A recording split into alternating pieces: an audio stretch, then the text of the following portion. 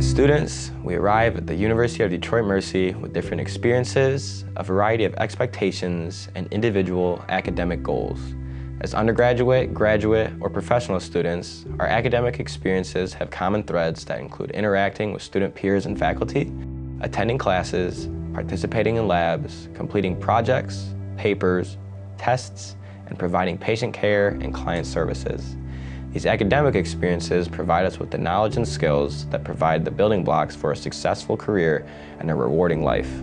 We participate on teams, join clubs and organizations, and engage in the ebb and flow of university life.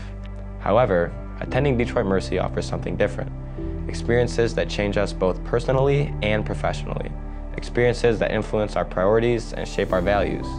Community-based outreach and community service is what makes the Detroit Mercy experience something special. Interacting with people in our neighborhood, city, and state are a hallmark of our educational experience. Service and outreach getting off campus, away from the classroom and clinics, and interacting with individuals in all different settings. Schools, clinics, nursing homes, community centers, churches, and neighborhoods.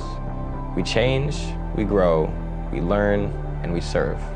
And the rewards are priceless. A healthier smile, a grateful client, a proud child, an enabled adult, a community member that sees, feels, and is touched by how we live the Detroit Mercy mission.